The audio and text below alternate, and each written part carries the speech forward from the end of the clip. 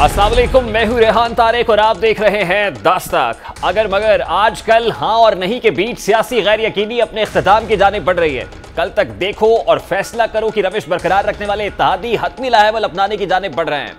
कल तक जो इतिहाद जो इतिहादी देखो और फैसला करो की पॉलिसी पर कायम थे, अब उनका वाज रुझान अपोजिशन की जानब दिखाई दे रहा है। आज पीपल्स पार्टी और एमकेएम ने मुल्क के वसीतर मफाद में एक दूसरे के साथ मिलकर काम करने पर इतफाक किया है। पीपल्स पार्टी के सदर आसिफ अली जरदारी और chairman Peoples Party Bilawal Bhutto Zardari से एमकेएम के वफद ने मुलाकात की है। जरदारी हाउस में होने वाली मुलाकात में पीपल्स पार्टी के जोबा भी मौजूद थे, जबकि एमकेएम के वफद में भी आमिर खान, खालिद मकबूल सिद्दीकी और वसीम अख्तर समेत दीगर मौजूद थे।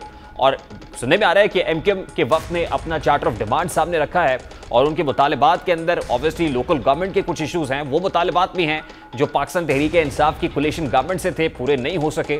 और अब आसिफ अली जरदारी और बिलावल भुट्टो जरदारी ने पीपल्स पार्टी की क्यादत ने, उन मुतालबात को तस्लीम कर लिया है। और इम्कान ज़ाहिर किया जा रहा है कि अब एम क्यू एम ऑपोजिशन का साथ देगी और वो साथ अदम एतमाद की तहरीक के मामले पर होगा। दूसरी जानब काफ लीग का मुशावरती इजलास भी जारी है। यानी आप यूँ कह लीजिए कि अब मामला जो वोट ऑफ़ नो कॉन्फिडेंस की मूव का है, वो फाइनल राउंड में दाखिल होता हुआ दिखाई दे रहा है। दूसरी तरफ़ पार्लियामेंट लॉजेस में वजी अजम इमरान खान साहब पहुँच गए हैं और उन्होंने जीडीए के वफ से मुलाकात करनी है। यानी जीडीए के लोगों को भी राम करने की कोशिश की जाएगी। एक तरफ़ ये सूरत हाल है मरकज के अंदर तो दूसरी जानब तरीन ग्रुप की मुलाकात हमजा शहबाज शरीफ साहब से हो रही है। यानी पंजाब के महाज पर भी पाकिस्तान मुस्लिम लीग नून की क्यादत खासी एक्टिव है, जहाँ पर तरीन ग्रुप खासा मुतहरक दिखाई दे रहा है। खबरें तो आ रही थी कि तरीन ग्रुप और अलीम खान ग्रुप के अंदर कुछ फासले हैं, लेकिन अभी तरीन ग्रुप और पाकिस्तान मुस्लिम लीग नून यकीनन करीब आते हुए दिखाई दे रहे हैं। मामला क्या होगा आने वाले दिनों में सूरत हाल वाजे हो जाएगी, लेकिन अभी जो सूरत हाल है, हुकूमत खासकर खासी कॉन्फिडेंट दिखाई दे रही है। और हुकूमत क्या कह रही है, क्या स्टेटमेंट्स हैं बॉडी लैंग्वेज क्या है, जरा वो भी आपके सामने जब जब वोटिंग हुई है वक्त इम्तिहान जब आया है हमारे दादी भी हमारे साथ खड़े हुए और हमने हम कामयाब भी हुए जिसमें भी हम कामयाब हो जाएँगे इंशाल्लाह और ये नाकाम होंगे। तो जो हिदादी हैं उन्होंने आप लोगों को यकीन दहानी करवाई है कि आपके साथ खड़े रहेंगे? हिदादी हमारे साथ हैं आप बेफिक्र हो जाए पाकिस्तान मुस्लिम लीग कायद आज़म और एम के एम पाकिस्तान जो है उनकी अपनी अपनी एक शनाख्त है। ठीक है और सियासत होती है और उनका राइट है। लेकिन जब भी वोटिंग का टाइम आता है वो हमारे साथ खड़े होते हैं और आपको पता चल जाएगा विद इन पाकिस्तान तहरीक इंसाफ खासी कॉन्फिडेंट दिखाई दे रही है और जराये के मुताबिक वजी अजम के खिलाफ तहरीक अदम एतम पर वोटिंग 28 मार्च को होगी। आज सेनेटर फैसल जावेद ने अपनी ट्वीट में तहरीक अदम एतम पर वोटिंग की तारीख का ऐलान किया है और फैसल जावेद के मुताबिक तहरीक अदम एतम पर वोटिंग 27 मार्च के बाद होगी बाद होगी। इस्लामाबाद में मीडिया नुमाइंदों से गैर रस्मी गुफ्तु में सेनेटर फैसल जावेद ने तहरीक अदम अतमाद पर वोटिंग के लिए अट्ठाईस तारीख की तस्दीक की थी। पाकिस्तान तहरीक इंसाफ अदम अतमाद के मामले पर तो उसकी बॉडी लैंग्वेज से ज़ाहिर करने की कोशिश कर रही है, वो कॉन्फिडेंट है। तहरीक अदम अतमाद को कामयाब बनाने के लिए अपोजिशन की जानब से तीन हुकूमती इतिहादियों यानी मुस्लिम लीग काफ, एमक्यूएम पाकिस्तान और फिर जीडीए की हमायत हासिल करने की कोशिश की जा रही है और रही है और ऑब्वियसली नंबर गेम के अंदर ये काफ़ी स्ट्रॉन्ग दिखाई दे रही हैं। इनकी कुल तादाद सत्रह है। यानी अगर ऑपोजिशन का ये साथ देती हैं तो ऑपोजिशन की अपोजिशन खासी मुस्तकम हो जाएगी। हुकूमत इतिहादियों के अपोजिशन के साथ शामिल होने की सूरत में पीटीआई इतिहाद की तादाद एक सौ उनासी से कम होकर एक सौ बासठ रह जाएगी, जबकि मौजूदा अपोजिशन इतिहाद की तादाद बढ़कर एक सौ उनासी हो जाएगी। जो भी एक सौ बासठ है, वो एक सौ उनासी हो जाएगी। सत्रह सीटों की शमूलियत के साथ, जबकि तहरीक अदम अतमाद को कामयाब बनाने के लिए अपोजिशन को एक सौ बहत्तर अरकान दरकार है। शायद यही वजह है कि हुकूमत और अपोजिशन दोनों इतिहाद हासिल करना चाहते हैं। एम के ऐलान काफली की जानब से जवाब में ताखिर और तरीन ग्रुप से हमजा शह हमजा शहबाज की मुलाकात के बावजूद वजी अजम इमरान खान आज भी इतिहादियों के साथ होने की यकीन दहानी करा रहे हैं। आज तहरीक इंसाफ की कोर कमेटी से गुफ्तु के दौरान वजी अजम ने इतिहादियों पर भरपूर अहतमाद का इजहार किया कि इतिहादी कहीं नहीं जा रहे, हमारे साथ हैं और हमारी तमाम तमाम तर तैयारियाँ मुकम्मल हैं। अदम अतमाद से कोई परेशानी नहीं है सूरत हाल इतमान बख्श है। वजी अजम ने कहा कि तहरीक अदम अतमाद ही नहीं, पाकिस्तान के खिलाफ साजिश भी नाकाम होगी। साथ ही वजी अजम ने पार्टी रहनुमाओं को इतिहादियों के खिलाफ बयानबाजी से भी रोक दिया है क्योंकि हुकूमती रहनुमाओं की जानब से खिलाफ बयानबाजी ने मामला इस नहज पर पहुँचा दिए सिर्फ़ शहरी सिंध के शहरी इलाकों की party P M L Q चंद पंजाब के अजला की पार्टी?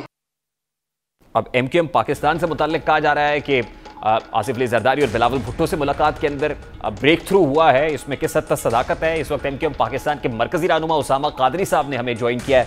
असल उसामा कादरी साहब बहुत बहुत शुक्रिया आपके वक्त के लिए। सबसे पहले तो फरमाइएगा have you decided to part ways with government अब हुकूमत के साथ मजीद नहीं चलेंगे या अभी भी एम के एम पाकिस्तान मखमसे का शिकार है कन्फ्यूज़ है, किसी तजब्जुब में मुबतला है? बहुत शुक्रिया आपका।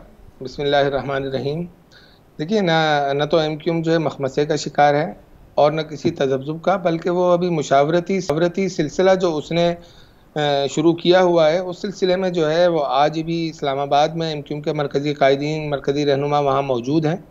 और वो जो है, वो हुकूमत से भी और दीगर अपोजिशन की जमातों के रहनुमाओं से भी मुलाकातें कर रहे हैं। और वो चाहते हैं कि कोई ऐसा फ़ैसला हो कि जिससे पाकिस्तान के इस्तेकाम को ज़रब न लगे। और जमहूरियत डीरेल ना होने पाए तो इस किस्म की चीज़ें जो हैं, वो वहाँ पर डिसाइड हो रही हैं। और मैं ये समझता हूँ कि इस वक्त पॉलिटिकली जो है, जो एम क्यू एम जो अपना किरदार निभा रही है, वो आम रवैयों से हटकर जो गुज्त अदवार में वो करती रही है, उससे हटकर वो कर रही है। क्योंकि माजी में हमने ये भी देखा है कि एम क्यू एम हमेशा जो है, वो चने के झाड़ के ऊपर चढ़ जाया करती थी और अपने कंधों पर जो है, तमाम बोझ उठाती थी। और लोगों को जो है वजारत उजमा की कुर्सी पर फाइज करने के बाद जो है वो जुल्म और ज्यादती का शिकार हो जाती थी। तो इस दफ़ा एम क्यू एम ने अपनी स्ट्रेटजी बिल्कुल बहुत इंतहाई कामयाबी के साथ और इंतहाई बुरदबारी के साथ उन अवामी मसाइल को लेकर चल रही है कि जो अवामी मसाइल के हल के लिए हमने पी टी आई के साथ अपना नौनुकाती माहा किया था। अच्छा इससे कबल ये जो दीगर जो अपोजिशन की जमातें हैं, इनसे भी एम क्यू एम जो है, वो तहरीरी माहा करती रही है। लेकिन उन माहदात पर पेश रफ्त के बजाय जुल्म ज़्यादती का शिकार रही। तो अब एम क्यू एम ये चाहती है कि जो भी चीज़ हो, वो उसको इस अंदाज से हो कि न तो पाकिस्तान की सालमियत पर आँच आए जमहूरियत महफूज रहे और सियासी जमातों के अपने अपने जो हकूक़ हैं उस हवाले से जो है वो वो उन उसके हसूल को अवाम के लिए ज़रिया बनाया अच्छा उसामा काई साहब एक तो आपने कहा कि आप वो फैसला करेंगे जिसमें जमहूरियत डीरेल ना हो। वोट ऑफ़ नो कॉन्फिडेंस अदम एतमाद की तहरीक एक जमहूरी प्रोसेस है। ऑब्वियसली नंबर गेम है। नंबर गेम अगर ऑपोजिशन के हक में होगी तो वो कामयाब हो जाएँगे। अगर हुकूमत नंबर जो है वो पूरा रख लेगी तो वो दिफा में कामयाब हो जाएगी। वजारत उज़मा की नशस्त का अगर उनके खिलाफ अदम अतमाद तहरीक आ रही है। नंबर टू आपने ये कहा कि आप अवामी मसाइल का मुतालबा लेकर ये जो चार्टर ऑफ़ डिमांड था आपका, यकीनन हुकूमत के साथ भी था और यही माहिदा था जिसमें आप शामिल थे। तो क्या अवामी मसाइल हल हो गए और उन उमंगों के मुताबिक हुए जो एम पाकिस्तान की थी? देखिए, ये बड़ी बदनसीबी है कि हमने जो है, जो माहा किया, वो वो बिल्कुल अवामी सतह पर सबके सामने है। और उसमें कोई एक चीज़ भी ऐसी नहीं थी उस माहे में कि जिसके बारे में ये कहा जाए कि इससे इनको वजारतों का लालच हो या या इनको जो है, अपने ज़ाती मफादात के हसूल का। हमने अपने किसी भी नुक्ते को उस तौर पे नहीं लिया। बल्कि हमने जो है सिंध के शहरी इलाकों को सूबा सिंध के लिए और यहाँ के वोटर, सपोर्टर और कराची के रहने वाले हर बासी के, हमने दिल की आवाज़ को सामने रखकर हमने वो माहा किया था। लेकिन अफसोस की बात यह है कि शायद पीटीआई ने उसको जो है समझा नहीं या उस पर उस तरीके से अमल दरामद नहीं किया। हालाँकि उस पर अमल दरामद से फ़ायदा एम क्यू एम की सियासत को नहीं पहुँचता।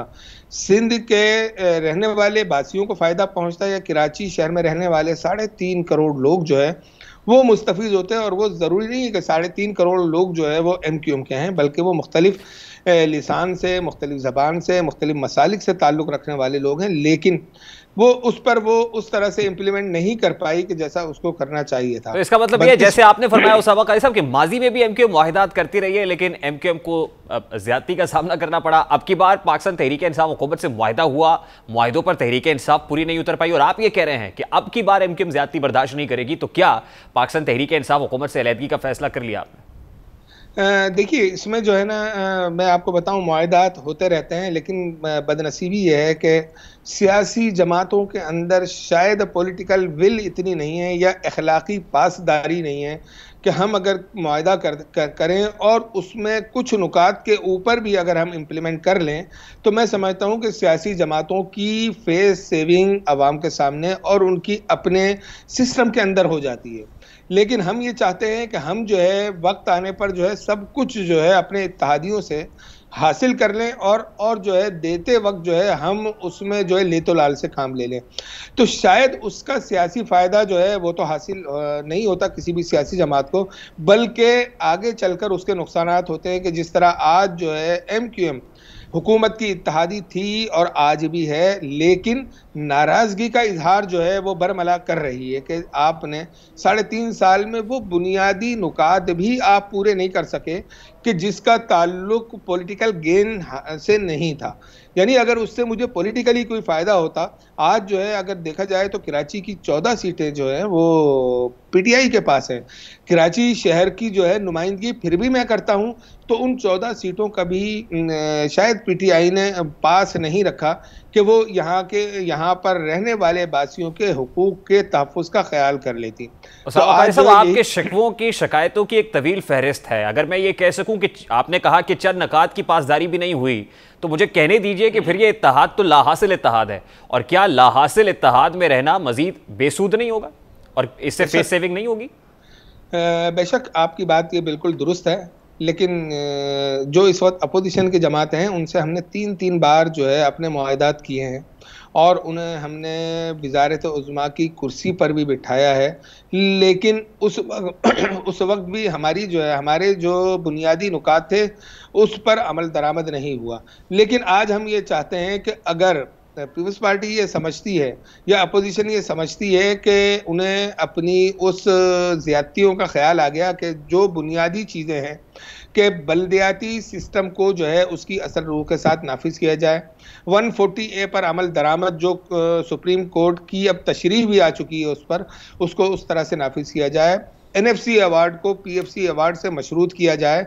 हल्का बंदियों में जो है, वो जो जो ज्यादतियाँ की जा रही हैं, उसका नुकसान जो है, उसका नुकसान सूबह सिंध के अवाम को है।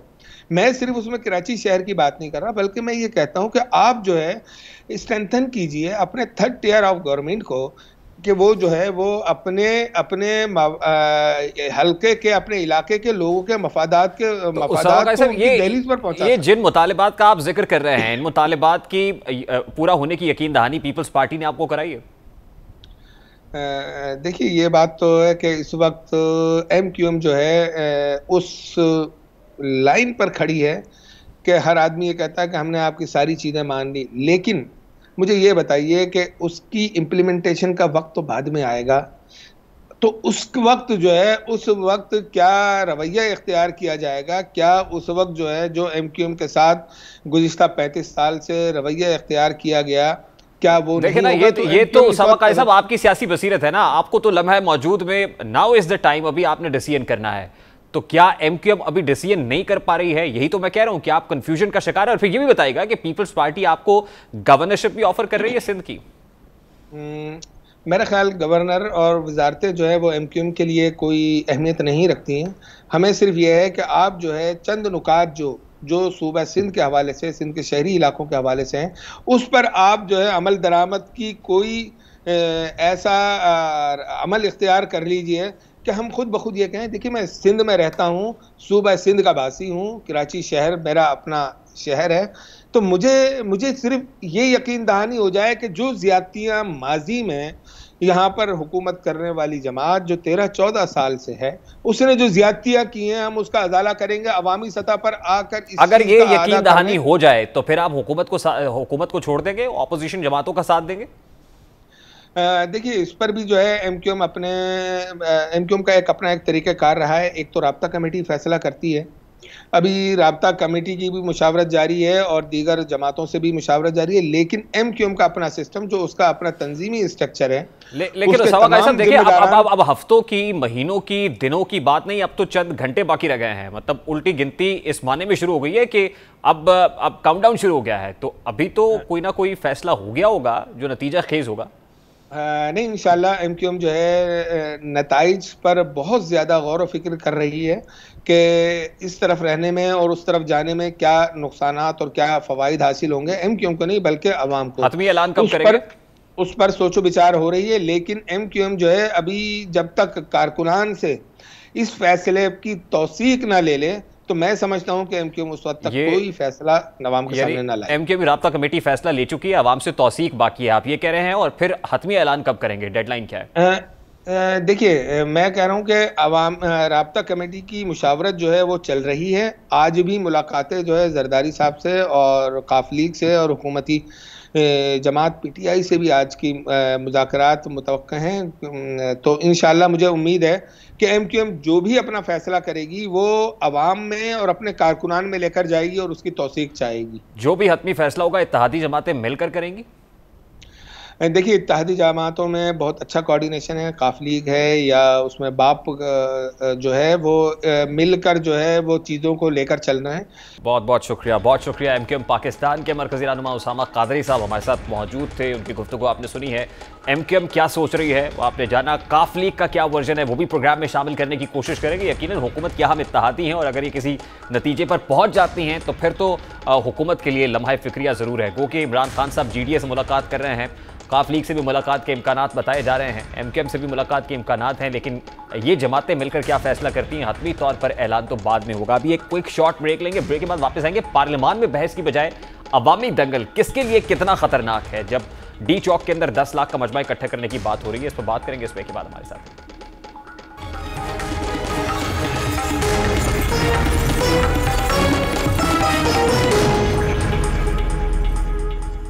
वेलकम बैक वजी अजम पाकिस्तान इमरान खान के खिलाफ तहरीक अदम अतमाद पर रबतों और मुलाकातों के बाद मामला हतमी नतज की जानब बढ़ रहा है। सियासी जमात अदम अतमाद का मामला आईनी, कानूनी और सियासी तरीके से हल करने की बजाय एक दूसरे के मुकाबले में एक ही दिन, एक ही जगह पर वर्कर्स इकट्ठे करके कौम को लड़वाने की रविश अख्तियार कर रही है। हुकूमत और अपोजिशन की एक दूसरे के मेम्बरान को तोड़ने की बैकडोर पॉलिसी के बाद पार्लियामान में हतमी लड़ाई लड़ने के इम्कान हैं, मगर एक लड़ाई जो सबके लिए खतरनाक साबित हो सकती है, वो लड़ाई अपोजिशन और हुकूमत दोनों की डी चौक में होने वाला मुमकिन तसादुम है। वजी अजम इमरान खान के खिलाफ अपोजिशन की तहरीक अदम के बाद सियासी तसादम और कशीदगी में जिस तेज़ी से इजाफा हो रहा है, वो बहुत तशवीशनाक है। इससे मजबूरी तौर पर सियासी और जमहूरी अमल के लिए खतरा पैदा हो सकते हैं। हुकूमत की ख्वाहिश है कि उसके वोटर्स ईवान में ना आए, जबकि अपोजिशन जमातें भी मुनहरफ अरकान इतिहादी और अपने अफराद को ईवान में लाने की भरपूर कोशिश करेंगी। जबकि हुकूमत की जानब से वाजे कहा गया है कि अरकान को आवाम के जम गफीर से गुजर कर ही इजलास में जाना होगा। इस हवाले से हुकूमत क्या कह रही है और क्या स्ट्रैटेजी अहतमाद का रास्ता रोकने के लिए दिखाई दे रही है? जरा उसकी झलक आपके सामने रखता है। मैं जो डीप चौक पे लोग बुला रहा हूँ एक दिन पहले अहमदाबाद से मैं अपनी कौम को सिर्फ़ इसलिए बुला रहा हूँ कि इनको बताने के लिए ये जो डाकू तीन इकट्ठे हुए थ्री स्टूडेंट्स के हमारी कौम ज़िंदा है हमारी कौम अमर बिल मारूफ पे खड़ी है हम अच्छाई को अच्छाई समझते हैं और बदी को हम सबने मिलके खत्म करना है इस माशरे से। पाकिस्तान की तारीख का सबसे बड़ा जलसा होने जा रहा है डी चौक में। इस दस लाख के हजूम में से जिसने वोट डालनी होगी वो गुजर के जाएगा और जब वो वोट डाल लेगा तो दोबारा भी इसी में से गुजर के उसने जाना होगा। अपनी पेटियाँ कस लें और इनशाला ताला आप देखेंगे ये तारीख का वो जलसा होगा जिसकी मिसाल पाकिस्तान में पहले कभी नहीं कोर कमेटी ने सारी ने वज़ीर आज़म साहब को इख्तियार दिया है कि जब उन्होंने इजलास बुलाना है और सारा इख्तियार उनको दे दिया इजलास बुलाने का और एतमाद के वोट की डेट का भी और सेकेंडली डी चौक के सामने जलसा होगा। तो उन्होंने ये हदायत की है कि पाकिस्तान के कोने कोने से लोग डी चौक पहुँचे और तमाम पार्टी लीडरों को हदायत की है कि यहाँ दस लाख लोग होने चाहिए। अब हुकूमत अदम अतमाद पर वोटिंग से एक दिन पहले इस्लामाबाद में जलसा आम की शक्ल में अपनी अवामी ताकत का मुजाहरत का मुजाहरा करके उसकी हाजिरी दस लाख तक बढ़ाने का ऐलान कर रही है, मगर सवाल ये है कि क्या हुकूमत मेम्बरान पार्लियामान को दबाव में लाने के लिए अवामी इज्तम कर रही है? क्या सियासत में शिकस्त को खौफ या तसादम की बुनियाद बन रहा है। ये ये ये फ्रस्ट्रेशन है। क्या वजी अजम एक सौ छब्बीस दिन के धरने की तारीख दोहराने जा रहे हैं? क्या हुकूमती हामी पार्लियामान का घेराव करने जा रहे हैं? हुकूमत के इस इकदाम के इम्प्लीकेशन असल में क्या होंगे? तहरीक की कामयाबी की सूरत में वजी अजम इमरान खान सड़कों पर आकर एहतजाज करने और तहरीक की नाकामी की सूरत में अपोजिशन ने एहतजाज को गली मोहल्लों तक ले जाने का ऐलान से सियासी इंतज़ार के खतरात बढ़ रहे हैं। अब यही नहीं है बल्कि तहरीक अहतमाद पर वोटिंग से पहले भी तसादम के गैर मामूली हालात पैदा खदशात दिखाई दे रहे हैं। मजबूरी हो जाएगी कि हमारे अरकान असम्बली अपनी प्रोटेक्शन के लिए अगर पाँच पाँच सौ हज़ार हज़ार आदमी अपना उन्होंने बुला लिया तो क्या बनेगा वहाँ? तो ये मुश्किल हो जाएगी। तो इमरान खान को इससे गुरेज करना चाहिए। इकतदार तो जा रहा है ये ना हो कि इज़्ज़त और साख भी टके की बाकी ना रहे। और जहाँ तक वज़ीर अजम अगले का ताल्लुक है उस पर भी थोड़ी देर इंतज़ार फरमाई जिनके एक सौ बहत्तर लोग पूरे ना हो रहे हों वो दस लोग दस लाख लोगों को डी चौक में लाने का हक ही नहीं रखता। यहाँ डी चौक में दस लाख लोग, लाख लोगों का लाना ढिटाई के साथ जिसका दावा किया जा रहा है, दस लोग नहीं आएँगे। और वो इसलिए नहीं आएँगे क्योंकि क्या बेरोजगार आएगा डी चौक पे? जिसके घर आज रोटी के लिए पैसे नहीं, क्या वो डी चौक पे आएगा? जिसके लिए दवाई के लिए पैसे नहीं, क्या वो डी चौक पे आएगा? उनको धमका रहे कोई खुदकश हमले की धमकी देता है। कोई कहता है, इतने लाख बंदे जमा करेंगे और आपका हम ये हाल करेंगे, वो हाल करेंगे। इट्स शेमफुल शर्म आनी चाहिए इन लोगों शर्म आनी चाहिए इनको इंतज़ार फैलाने की जो ये हरकत पर उतर आए हैं। और वाकई ही ये पीटीआई अब पाकिस्तान तहरीके इंतशार बन के रह गई अपोजिशन और हुकूमत के दरमियान मुमकिन तसादम से बचने के लिए वजारत दाखिला ने रेड जोन की सिक्योरिटी रेंजर्स के हवाले करने का फैसला कर लिया कर लिया है। रेड जोन में रेंजर्स 20 मार्च से 2 अप्रैल तक तैनात रहेगी, जबकि अहम इमारतों पर एक एक हज़ार रेंजर्स एहलकार तैनात होंगे। हुकूमत और अपोजिशन के दरमियान तसादम की एक मिसाल गुजशत हफ़्ते पार्लियामान में अंसारुल इस्लाम और इंतजामिया के दरमियान होने वाली झड़प में भी देखी गई। अब यही नहीं, बल्कि वजी अजम की जानब से अवामी इज्तमात में अपोजिशन रहनुमाओं के खिलाफ इस्तेमाल होने वाली जबान भी जलती पर तेल का काम कर रही। उधर मारूफ आलम दीन मुफ्ती तकी उस्मानी ने कहा है कि सियासी इख्तलाफात में जिस बुरी तरह इस्लामी अहकाम और अकदार पामाल हो रही हैं, उनका तस्वुर करके डर लगता है। ट्विटर पर जारी बयान में मुफ्ती तकी उस्मानी ने कहा कि इख्तलाफ चाहे सियासी हो या नजरियाती, इसे दुश्मनी बनाकर मरने मारने और गालियाँ देने का तरीका माशरे के लिए मोहलिक है। उन्होंने कहा कि तनकीद दलाइल से होती है, भोंडी ज़ुबान से नहीं। कुरान में हज़रत मूसा और हज़रत हारून सलाम को फ़िरौन के मुकाबले में भी नरम बात करने की तलकीन फरमाई गई। खुदारा सोचे कि हम कहाँ जा रहे हैं। उधर आज कौमी असम्बली की कायमा कमेटी बरए इतलात के अजलास में भी फवाद चौधरी और रहनुमा नून लीग जावेद लतीफ़ के दरमियान दिलचस्प जुमलों का तबादला हुआ। फवाद चौधरी ने इजलास में आते ही मियाँ जावेद लतीफ़ से मुकालमा करते हुए कहा हुए कहा कि आप यहाँ मीटिंग कर रहे हैं, जाएँ और तहरीक अदम अतमाद के लिए मेंबर इकट्ठे करें। जावेद लतीफ़ ने जवाब दिया कि हमने मतलूबा बंदे इकट्ठे कर लिए हैं। आप जाएँ, आपने 10 लाख बंदा इकट्ठा करना है। मियाँ जावेद लतीफ़ के जवाब पर कौमी असम्बली की कायमा कमेटी में कहके लग गए। पीटीआई डी चौक पर जलसे का ऐलान कर चुकी है। नून लीग भी रजामंद है, जबकि जे तैयारियों में मसरूफ है। क्या सियासी मामला अब अवामी तसादुम में बदलेंगे? ये एक बड़ा इंपॉर्टेंट क्वेश्चन है और ख़ास तौर पर जिसका इम्कान, का इम्कान ज़ाहिर किया जा रहा है कि वजी अजम इमरान खान साहब, क्योंकि आज फैसल जावेद ने ट्विटर हैंडल के ज़रिए से बताया कि 27 मार्च को हम ये एक्टिविटी करने जा रहे हैं। अब 27 मार्च को जब डी चौक पर, अब जो 10 लाख लोगों को इकट्ठा करने का इरादा है, अब क्या इन लोगों को इकट्ठा करने के बाद सूरत हाल वही होगी जो 126 रोज़ के धरने में थी? और फिर 10 लाख लोगों का इकट्ठा होना एक ऐसे शहर में जो इस्लामाबाद है, जहाँ पर जो मुकम्मल तौर पर नफूस हैं, वो कबो पेश बीस इक्कीस लाख हैं। बीस इक्कीस लाख की आबादी के शहर में दस लाख लोगों को इकट्ठा कर लेना। आप यकीनन ये जुए शीर लाने के मुतरफ है और ये कोई सियासी नारा, सियासी बयान तो हो सकता है। और फिर सवाल तो ये भी है कि 126 रोज़ के धरने में क्या वहाँ पर 10 लोग का 10 लाख लोग थे? और फिर 10 लाख लोग बाहर इकट्ठे कर लिए क्या हुकूमत को एम्फोसिस इस पर नहीं रखना चाहिए कि अपने एक सौ बहत्तर अरकान को असम्बली के अंदर प्रोड्यूस करें उनको रिटेन करके रखें तो तहरीक अदम अतमाद ऑटोमेटिकली नाकाम हो जाएगी। अगर बाहर इतने लोग इकट्ठे करने हैं तो क्या ये पार्लियामान में लड़ी वाली जाने वाली जंग को सड़क पर लड़ा जाएगा? क्या हालात तसादुम की तरफ़ बढ़ेंगे? और खुदा न खास्ता किसी भी सूरत में आ, क्या उसके बाद ये एहतजाजी धरने की शक्ल इख्तियार कर जाएगा? ब्रेक लेते हैं जी कोई शॉर्ट ब्रेक लेते हैं ब्रेक के बाद वापस आते हैं और गुफ्तु कंटिन्यू करेंगे हमारे साथ।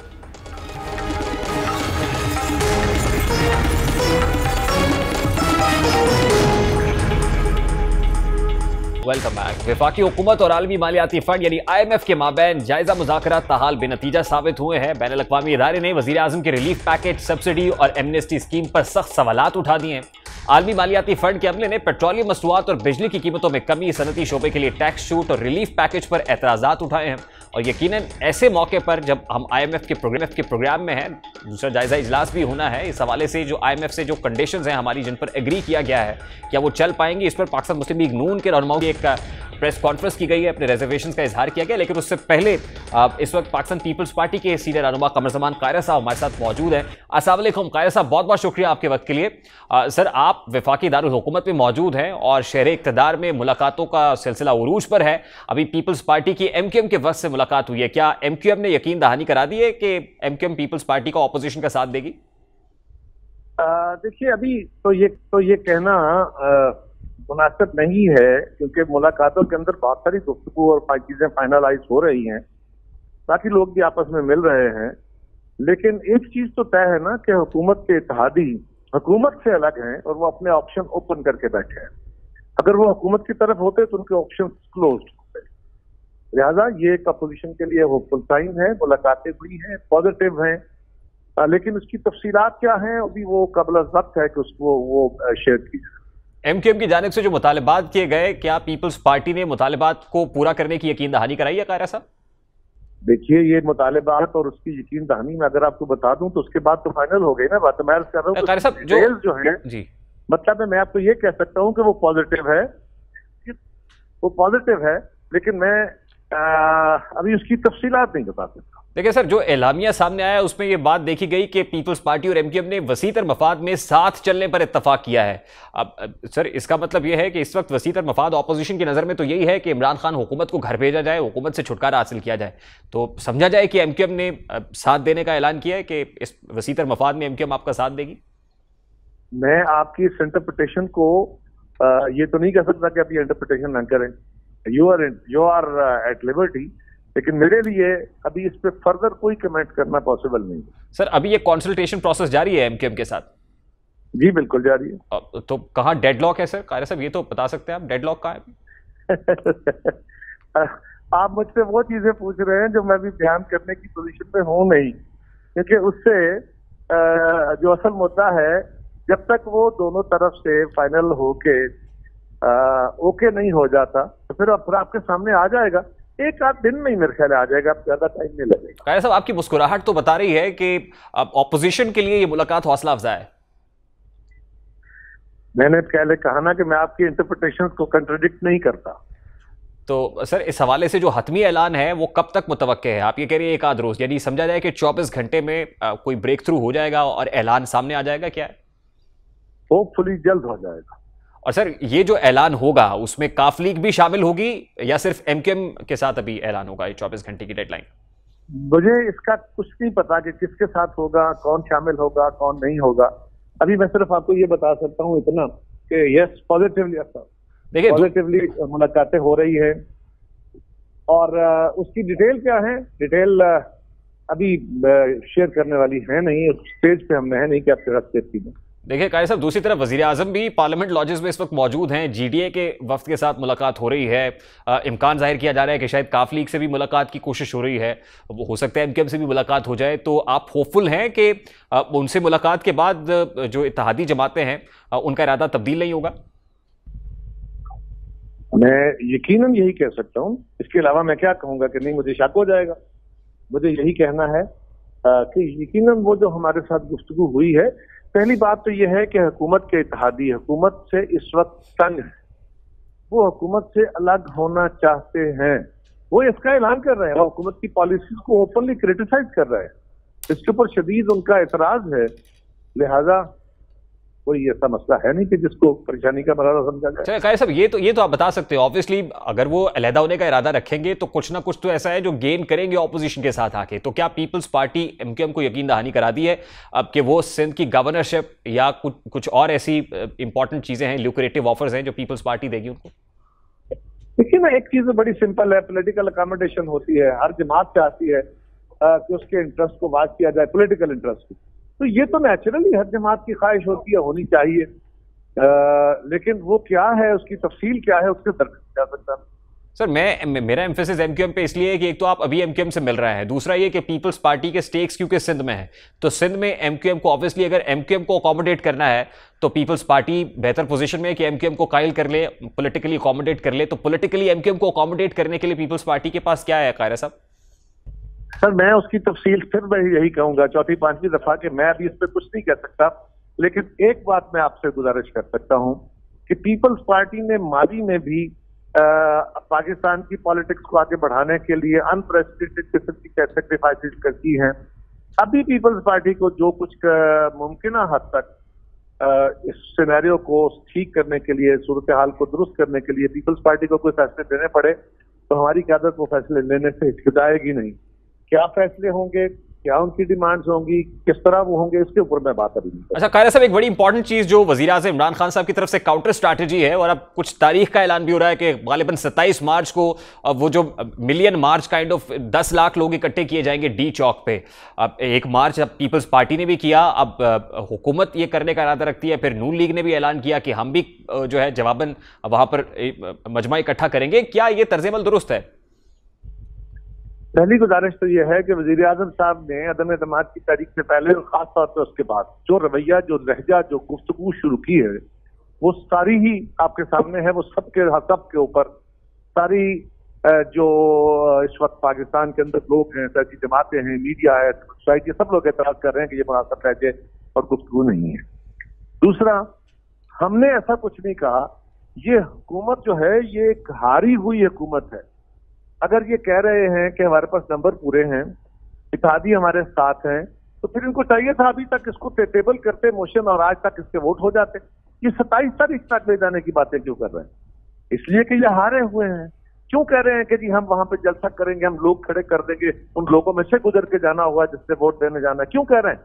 लोगों को राइट को ब्लॉक करना चाहते हैं, धमकी देना चाहते हैं अपोजिशन को डराना चाहते हैं, अपने दोस्तों को खौफ ज़्यादा करना चाहते हैं, अपनी जमात के एम एन एस को अपने इतिहादियों को तो ये तो कौम को देखना होगा, ये तो हमारी अदलिया को देखना होगा, ये तो हमारे लॉ एनफोर्सेस को देखना होगा कि हुक्मरान जमात का ये जो वतीरा है, ये मुल्क को किस तरफ़ ले जा रहा है?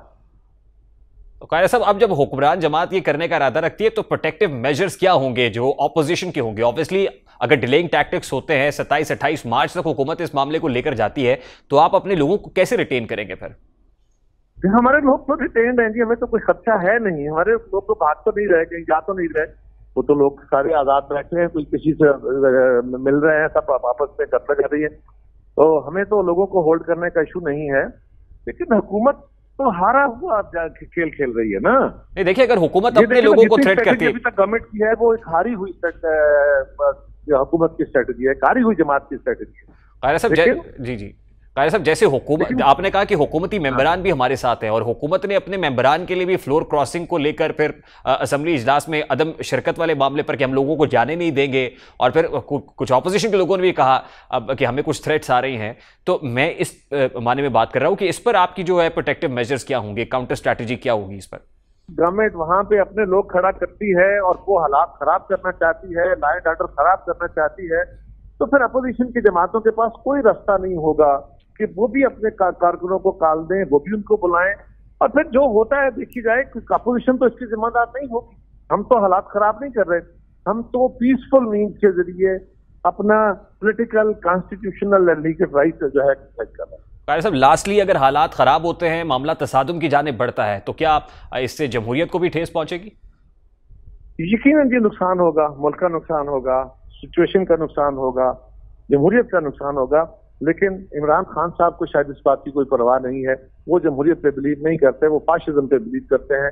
वो आखिरी वक्त तक जाके ये सारा मामला खराब करने की कोशिश करेंगे। अनफॉर्चुनेट है, अगर ऐसा हुआ, लेकिन ये बात तय है कि ये काम अपोजिशन का नहीं है कि वो पीछे हट जाए।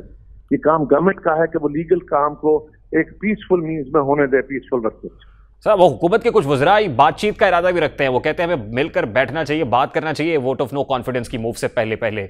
तो क्या ऑपोजिशन इन बातों पर भी कान धरेगी? आपको बातचीत का ऑप्शन बाकी है?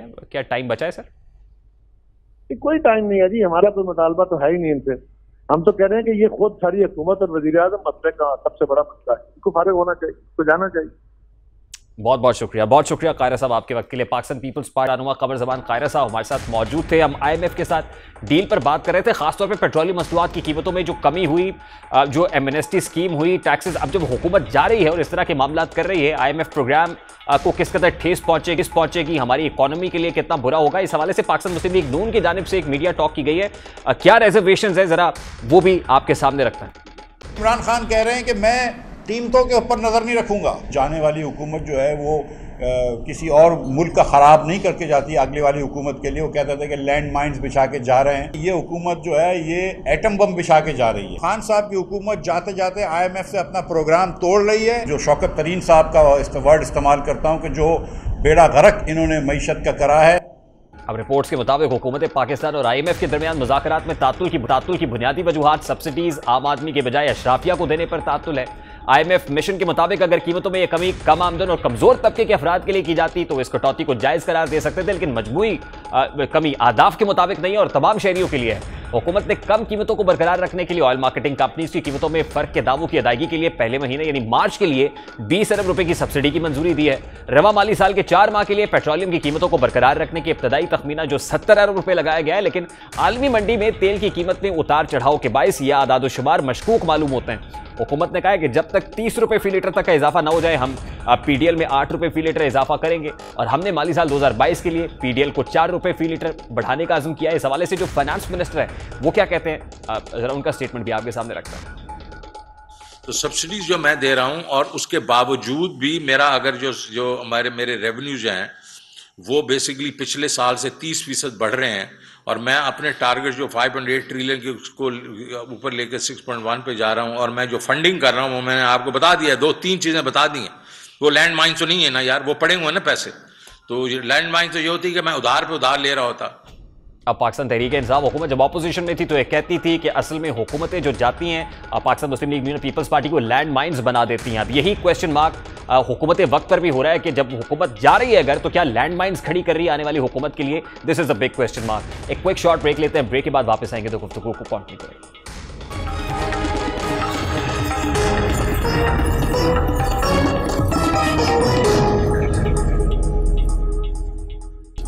वेलकम बैक पॉलिटिकल सिचुएशन बड़ी तेज़ी से डेवलप हो रही है। लम्हा ब लम्हा सूरत हाल तब्दील हो रही है और इस वक्त शहर इकतदार के अंदर जो सियासी सूरत हाल दिखाई दे रही है एम पाकिस्तान का वक्त पाकिस्तान पीपल्स पार्टी से मुलाकात के बाद अब काफ लीग के साथ मुलाकात के लिए पहुँच गया और काफ लीग की क्यादत जहाँ मौजूद है, वहीं पर जीडीए के लोग भी मौजूद हैं। यानी हुकूमत की तीन अहम इतिहादी जमातें इस वक्त सर जोड़े बैठी हैं। ना सिर्फ़ अपने सियासी मुस्तबिल का फैसला करने के लिए, बल्कि हुकूमत का सियासी मुस्तबिल क्या होगा? और फिर अपोजिशन की जमातें जो तहरीक अदम अतमाद के लिए सरतोड़ कोशिशें कर रही हैं। उनकी ये कोशिश कितनी नतीजा खेज साबित होगी? यकीन इस सबका इसार इन हुकूमती इतिहादी जमातों पर है, जिनकी कुल सत्रह नशस्तें हैं। और ये सत्रह नशस्तें डिसाइसिव हो सकती हैं। अगर ये हुकूमती पलड़े में अपना वोट डालती हैं तो यकीन हुकूमत दिफा में कामयाब हो जाएगी, तहरीक अतमाद को नाकाम बनाने की। लेकिन अगर ये इतिहादी जमातें, जो मुश्तर फैसला करने वाली है कुछ ही देर में जराए के मुताबिक, जिसमें एम क्यू एम भी है, जिसमें काफ लीग भी है, जिसमें ग्रैंड डेमोक्रेटिक अलायंस यानी जी डी ए भी है, अगर ये मिलकर किसी ऐसे नतीजे पर पहुँचती हैं, जो हुकूमत के खिलाफ होता है तो ये फिर अलार्मिंग सिचुएशन बन जाएगी और फिर उसके बाद सूरत हाल यकीन डी चौक के ऊपर दस लाख का मजमा और फिर कोई भी फैसला हो सकता है, जिसको वजी अजम की जानब से बड़ा ऐलान मुतव तौर पर बड़ा ऐलान कहा जा रहा है, वो इस्तीफे की सूरत में भी हो सकता है। प्रोग्राम का वक्त अपने अख्ताम को पहुँचा, आपसे मुलाकात होगी इन शाला कल अपना ख्याल